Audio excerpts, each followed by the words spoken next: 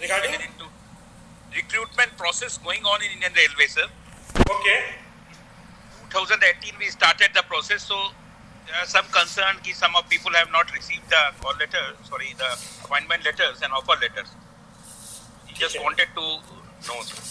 दे, देखिए सबसे पहले मैं आप लोगों के माध्यम से ये सबको बताना चाहता हूँ सबको बताना चाहता हूँ कि सबको कॉल लेटर मिलेगा और मैं आपको थोड़ा सा इसका डिटेल डिटेल दे देता हूँ।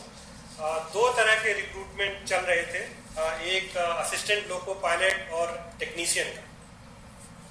और असिस्टेंट लोको पायलट और टेक्नीशियन में करीब 48 लाख कैंडिडेट्स थे। 48 लाख कैंडिडेट्स का हमने एग्ज़ाम लिया। बहुत ही ट्रांसपेरेंट तरीके से लिया, बहुत सक्सेसफुली उसको कंप्लीट किया। और उसमें हमने अपॉइंटमेंट लेटर्स काफ़ी इशू कर दिया उसने उसमें मैं आपके माध्यम से सबको एश्योर करना चाहता हूँ कि ये ये जो एएलपी के जो अपॉइंटमेंट लेटर्स हैं, वो सबको इशू कर दिए जाएँगे। इसमें खाली समस्या जो आई है, जो इसमें इसमें मैं आपको एक चीज़ और बताता हूँ। इसमें जो वैकेंसी सर्कुलेट करी थी हमने चौसठ हज़ार तीन सौ इकहत्तर। Sixty four thousand three hundred seventy one हमने वैकेंसी सर्कुलेट की थी। और ये जब वैकेंसी हम सर्कुलेट करते हैं और जब इतने ज़्यादा कैंडिडेट आते हैं forty seven point four lakhs candidate थे तो ये जो हमारा रिक्रूटमेंट का प्रोसेस है, इसमें समय लगता है, लोगों को एग्ज़ाम देना पड़ता है। तो इसलिए जब भी हम ये रिक्रूटमेंट करते हैं, अगले एक साल तक की वैकेंसी वर्कआउट करके एंटिसिपेटेड वैकेंसी कितनी रिटायरमेंट्स हैं, ये सारा हम कैलकुलेट करते हैं। और वो एंटिसिपेटेड वैकेंसी कैलकुलेट करके हम ये रिक्रूटमेंट करते हैं। ये जो हमने रिक्रूटमेंट किया, इसमें दिसंबर 20 आज हम जून 2020 में हैं। दिसंबर 2020 तक की वैकेंसी को लेके हमने सर्कुलेट किया था। और इसमें जो पैनल हमने अप्रूव किया था वो 56,378 और आपके माध्यम से ये सबको बताना चाहता हूँ कि जो वैकेंसी सर्कुलेट हुई थी 64,371 उतनी वैकेंसी फिलअप होगी।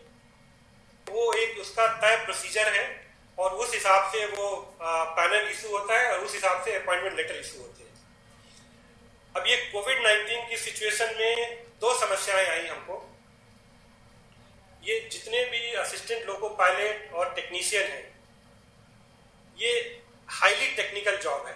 ये जैसे ही ज्वाइन करते हैं, अगर उन्होंने आज हमको ज्वाइनिंग रिपोर्ट दी तो उनको हम नेक्स्ट डे ट्रेनिंग पे भेज देते हैं। जब तक उनको हम लोगों की ट्रेनिंग ना दें, और या टेक्नीशियन को टेक्निकल ट्रेनिंग ना दें, वो रेलवे में कोई काम नहीं कर सकते हैं। तो हम उनको ज्वाइन करा के और उनसे हम कोई काम नहीं करा सकते हैं।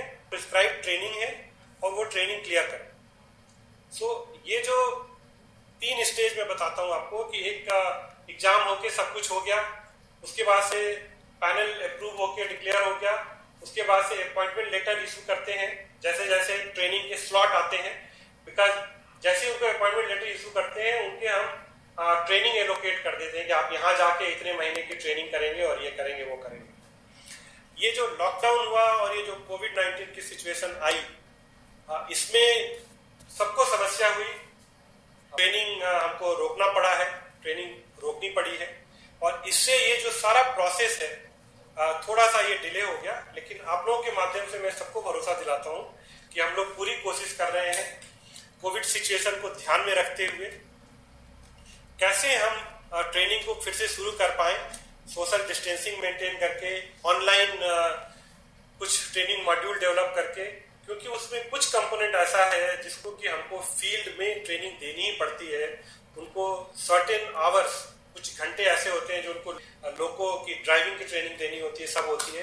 मैं कैंडिडेट्स को भरोसा दिलाता हूँ कि भारतीय रेल उस पर सिंसियरली काम कर रही है और ये हम देखेंगे कि जितनी जल्दी से जल्दी हो सके जो अपॉइंटमेंट लेटर नहीं इशू हो पाए हैं, वो अपॉइंटमेंट लेटर इशू किए जाए और उनको ट्रेनिंग को स्लॉट करके उनकी ट्रेनिंग कराई जाए।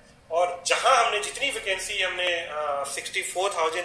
सेवेंटी वन जो एडवर्टाइज की थी लेवल तक आ, इस पे अपॉइंटमेंट लेटर इशू करे जा, किए जाएँगे ये मैं भरोसा दिलाना चाहता हूँ आपके माध्यम से सारे कैंडिडेट दूसरा एक सिलेक्शन होता है एनटीपीसी का जो